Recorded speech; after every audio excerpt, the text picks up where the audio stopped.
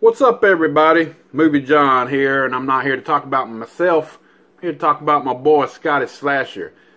Scott Slasher World for you YouTubers, but he also has a Facebook like page. So if you're on Facebook, go like it. It's called Nostalgia Museum.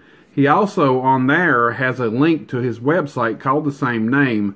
So go on there, like it, and go scroll through his stuff on there. He's got a lot of different things about commercials and uh, commercials like on toys, retro toys, games. We're going to talk about movies.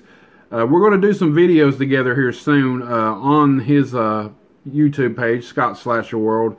But and we're going to be talking about the website and everything. He's going to also upload them to the website. So uh, we got many plans for that. We also are even thinking about doing a podcast. So uh, that'll be pretty cool to do. Uh, but I'm sure all that'll be uploaded onto there. So definitely, if you're into retro toys, uh, old stuff from the 80s and 70s, such as VHS, uh, movies, and the cartoons, uh, a lot of the toy stuff, of course, and uh, just anything like retro, go to Nostalgia Museum Facebook page, like it, and also look at the link on there, and it'll go to his uh, the actual website and where he has you know some videos and stuff on there to check out. And we're going to be doing a lot more, like I said, uh, on the website here soon. So go check it out. All the links at the bottom. Scotty Slasher's uh, YouTube, uh, his Facebook page, uh, of course from the Nostalgia Museum, and um, go like it. Go check it out.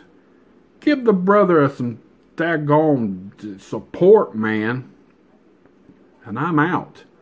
So go down at the bottom here. Right after I get done talking.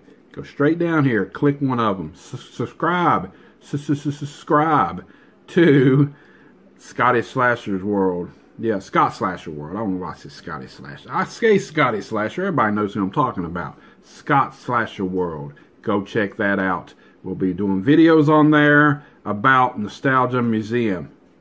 And if you're cool, you'll watch them. And we're out.